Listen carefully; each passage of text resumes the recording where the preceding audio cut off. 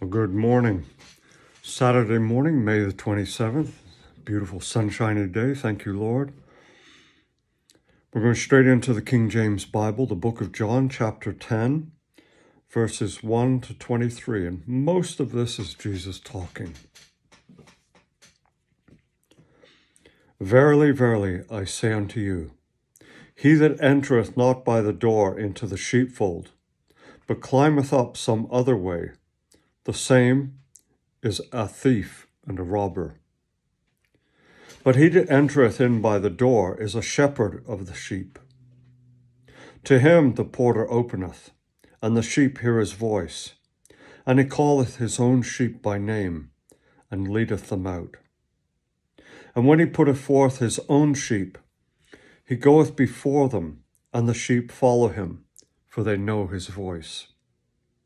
And a stranger will they not follow, but will flee from him, for they know not the voice of strangers.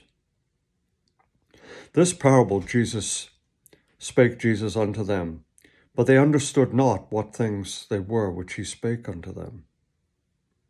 Then Jesus said unto them again, Verily, verily, I say unto you, I am the door of the sheep.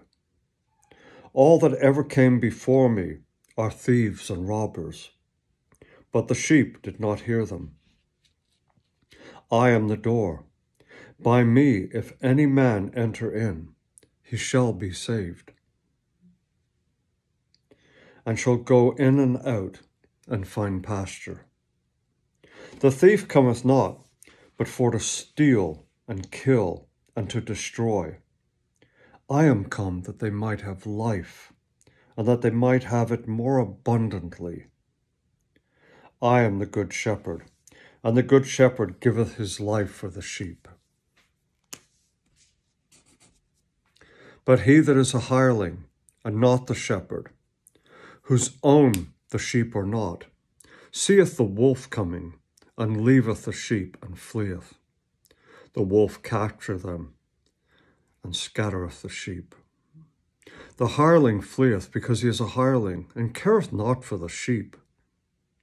I am the good shepherd, and know my sheep, and am known of mine. And the Father knoweth me, even as I knoweth the Father. And I lay my life down for the sheep.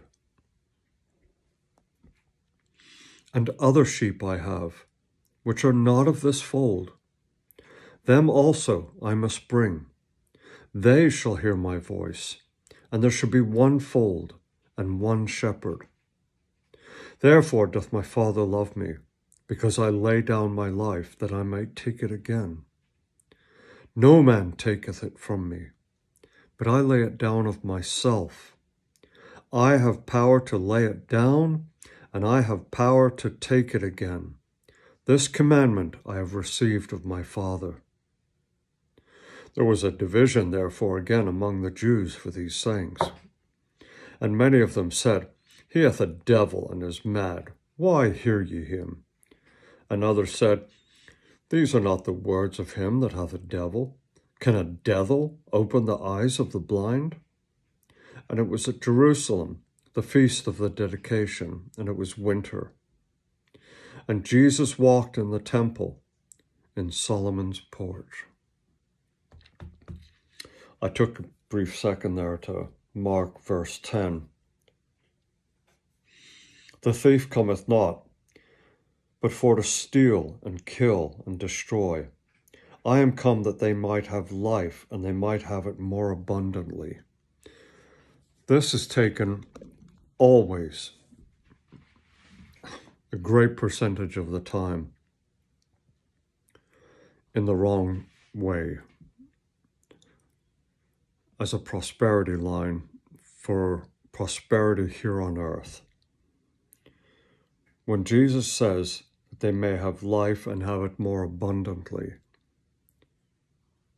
he's talking about the life to come, the eternal life. Eternal life is more abundant than the earthly life. I mean, think about it. How can you have a more abundant life unless you're loaded down with things of this earth?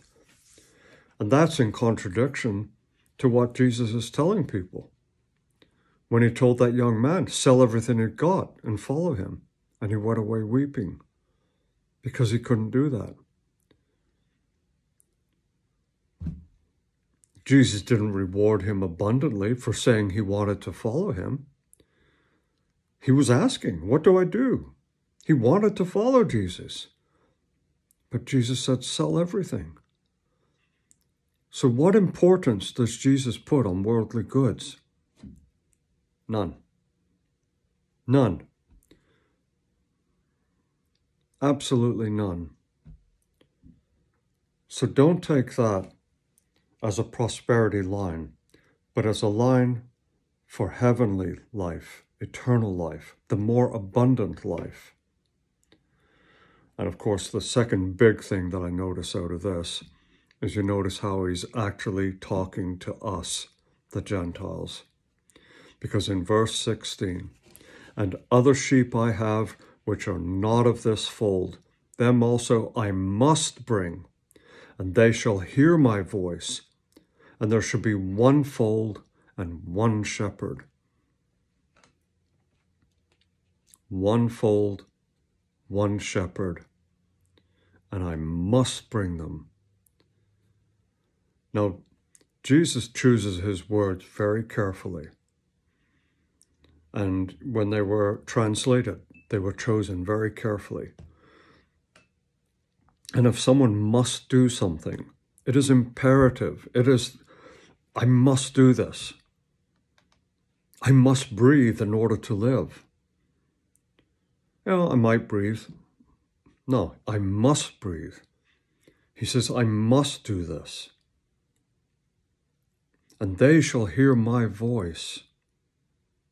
Well, how can we hear Jesus' voice if this was written still in Greek and Hebrew? He allowed the translations. And just as he supervised and guided the hands of those who wrote these words, so did he when he guided those who translated from the original languages. Because he said, We must. He must bring them, and they shall hear my voice. And there shall be one fold and one shepherd. There is only one way, and that is through Jesus Christ. You know, Jesus took great lengths to repeat this message over and over in as many different ways as possible. And yet we still insist today that there are many roads to heaven.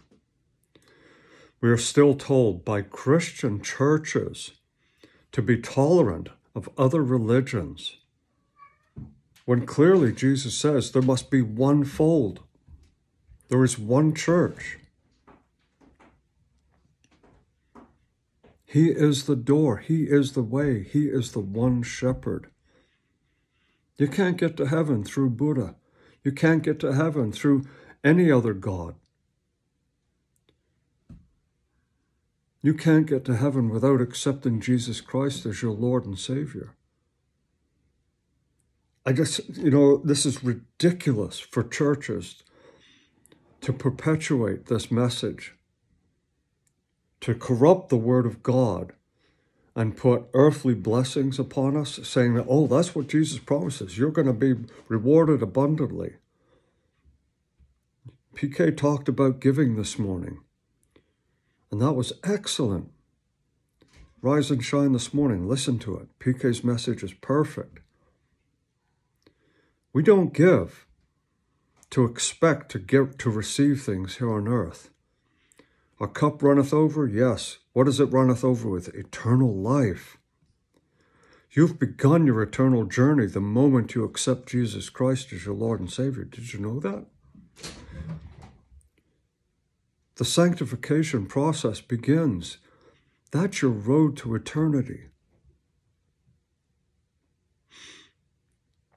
Don't expect anything of this earth because the moment you expect it, you're putting emphasis on it. And the moment you put emphasis on worldly gain, you're losing sight of heaven. You're looking away. This is the narrow path, the open pages of your Bible. the Word of God. There's no earthly treasures in here. There's heavenly treasures. Seek the will of God.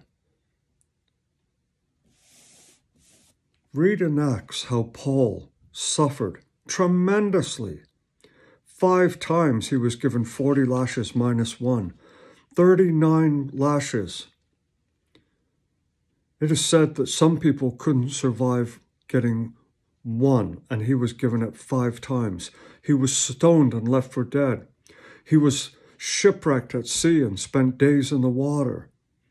He was beaten, tortured, thrown in prison many times. Does that sound like he received earthly riches? On top of that, he had his own personal affliction, which he asked God to remove three times, and God said, No, for in your weakness I am made stronger, I am made greater. Does that sound like Paul, the great one of the greatest writers of the Bible, had a fine old time living high off the hog here on earth? I don't think so. And he still worked his way around the Mediterranean. Beware of where your blessings are coming from. Beware of where your blessings are coming from. Are they truly from God because if you're focusing on your blessings, on your earthly blessings, and you're not focusing on heaven and doing good for others without seeking reward here on earth, then you've missed the boat. You've missed the boat. You've missed the whole point. You've missed it entirely. You've gotten on another cruise ship and you're heading to hell. Yep, I'm going to say it. You're on the wrong ship. You're listening to the wrong shepherd. Listen to Jesus Christ. Build your foundation upon the rock. Because it's said in the last days, there will be a great falling away. And you say, well, Chris, there's a great revival going around in this world at the moment. Is there? Are these people truly giving themselves to Jesus Christ? Or are they just paying lip service because it feels good at the moment and they want to jump in on the bandwagon? This is a personal journey. This is a personal journey to God. Don't think that jumping on some bandwagon and going along for the ride and everyone being happy and singing kumbaya around the campfire is going to get you to heaven. It's in here where you're going to pay the price and you're going to give it all up for Jesus Christ. It's in here where that decision is made. It's in here that you're going to open up and fill that void in your heart that is only God shaped. Nothing else will fit that hole. Only God. I remember my good friend Terry telling me that years ago.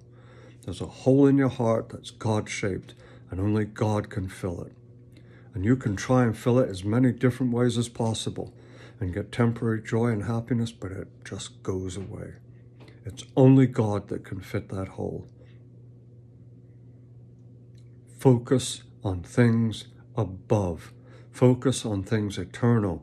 Focus things godly, for His ways are greater than mine. His understanding is greater than mine. Do it in faith, in blind faith, because we cannot see.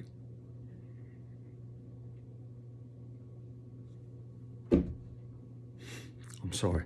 It's a little heavy, but it's the truth. It's the truth. Do not focus on worldly things and think God has blessed me. And this is good. And focus on it. Yes, He can bless you with these things. But the moment you focus on it and try to build on it and brag on it, you're just blown it because you're, you're losing your focus.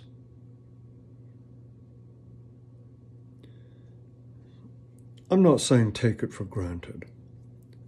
Yes, be grateful, but know where it's coming from. And know that God cannot look upon sin. So if you think you've been blessed in some way and you're still sinning, Well, where did that blessing come from? Is it a true blessing or is it a ball and chain?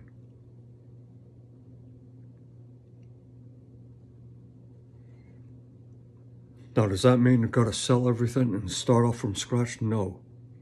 What it means is you've got to give everything up and submit to God and say, I give me to you 100%. Total submission.